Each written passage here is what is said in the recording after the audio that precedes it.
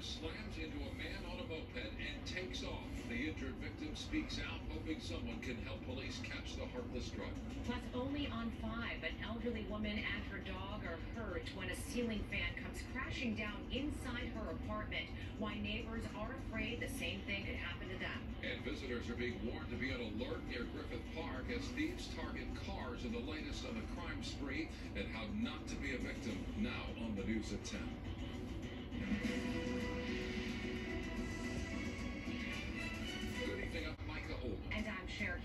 LAPD officers Yeah, are looking for a hit and run driver tonight who Yeah, slammed yeah, into a man riding a moped in downtown LA and sped away. The victim suffered a number of injuries. He is asking for the public's help to catch the driver responsible. KTLA's Mary Beth McDade live outside LAPD headquarters with more on the story you saw first on 5. Mary Beth.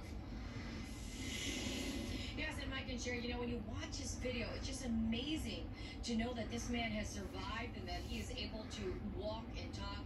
He says he is truly grateful to the Good Samaritans who sprang to his rescue and helped him out that night.